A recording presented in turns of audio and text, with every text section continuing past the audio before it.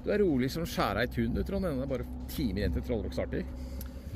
Ja, prøver i hvert fall å virke rolig. Men eh, det er jo klart det er noen eh, ting som må ordnes. Men eh, vi har, har jo fått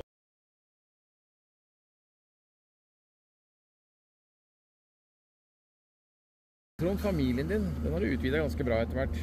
Fortell om den.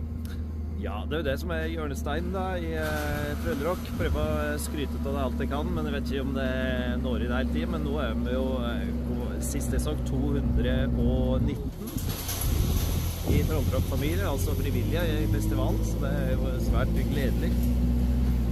Hvordan klarer du å holde så mange frivillige år etter år?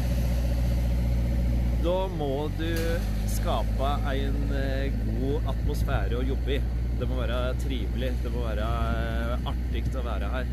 Og da, eh, du, da må du prøve å være sjøl blid og hyggelig, og så må du eh, legge til rette med dekke primærbehov som mat, og så sklir det i veien derifra. Billettsalget ditt, hvordan ligger det an? Det ligger veldig bra an. Vi er nå på eh, rett over 3500, og det er veldig fint for eh, Vi håper jo å komme over fire. Statistisk sett så skal det gå. Kan hende at eh, været er avgjørende for enkelte, men vi får nå bare se. Uansett så blir det skikkelig fest i tre dager her på Østlandet. Det vil jeg tro.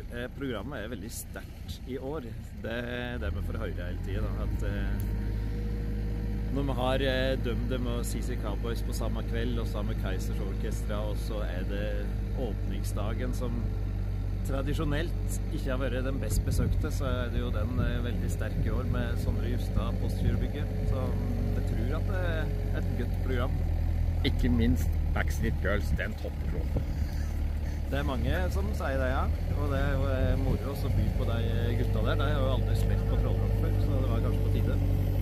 Lykke til med festivalen, Trond. Tusen takk.